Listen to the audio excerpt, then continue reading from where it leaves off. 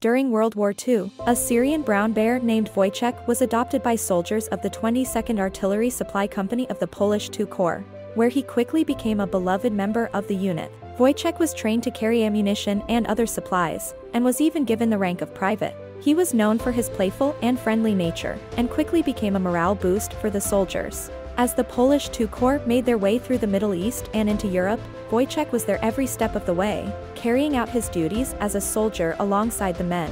He was present at the Battle of Monte Cassino, one of the bloodiest battles of the Italian campaign, and helped to transport supplies to the front lines. After the war, Wojtek was brought to Scotland and lived in the Edinburgh Zoo until his death in 1963. He has since become a symbol of the Polish soldiers' wartime struggle and his story has been told in several books documentaries, and films. Wojtek's story is a remarkable example of the human-animal bond and companionship that can exist between humans and animals even in the midst of war.